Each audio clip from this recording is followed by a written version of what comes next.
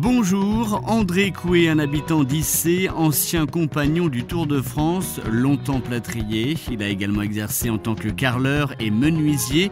Et depuis plus de 5 ans, il s'est pris de passion pour la fabrication de jouets en bois. Ma passion, moi, c'était de, faire vraiment de la finition. Euh, de la corniche, j'en ai tiré, euh, je peux dire des mètres. Hein.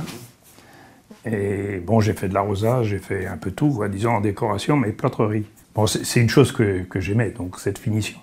Et là, bon, je le fais plus en plâtre parce que c'est un peu sale.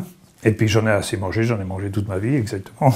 Alors donc, euh, je me suis reconverti sur le bois. Le bois, dont c'est un produit où j'ai toujours aimé aussi travailler. Quoi. Et c'est une matière noble, c'est au toucher, à l'odeur. Euh, j'ai eu un coup de cœur par une voiture que j'ai vue dans une maison chez, chez, des amis. Une voiture miniature, oui. Fait Made in Chine. Ah.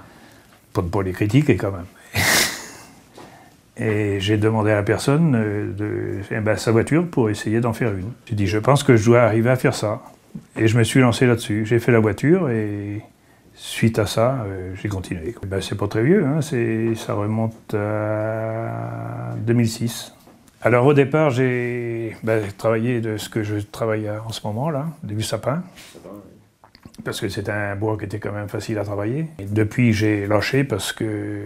Enfin, bon, je fais encore quelques bricoles hein, avec euh, du sapin, mais disons que c'est pas la matière euh, la plus noble maintenant. Bon, je travaille plus le hêtre, le frêne. Le chêne, c'est plus dur. Mais bon, j'ai encore des pièces de bois que j'arrive à faire en chêne quand même. Une fois le bois choisi, place au débit. André nous dévoile les étapes de fabrication. Bon, il faut commencer par le débit.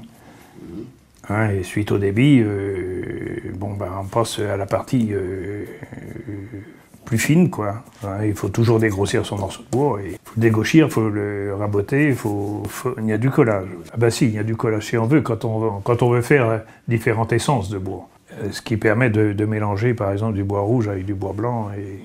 Mais autrement, des, collages, j'en fais sur, euh, surtout sur des pièces où le bois m'intéresse et bah, il, est, il est pas assez large, hein, ou il est pas assez long, euh, bon, ou il est pas assez gros. Bon, après le débit, il y a l'assemblage. Hein. Moi, je fais un, débit grossier, c'est-à-dire avec les, gros outils, quoi, la, grande scie, le, hein, rabot, comme je disais, le, la dégo. Et, ensuite, je passe au petit débit avec les petites machines que j'ai là. Et ensuite, bon, ben, on passe à l'assemblage et il y a le ponçage. Hein. Le ponçage, c'est pas la partie la plus intéressante.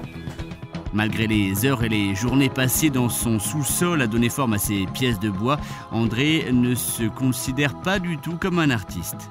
Non, je me, me dis pas artiste. Moi, je me dis bricoleur.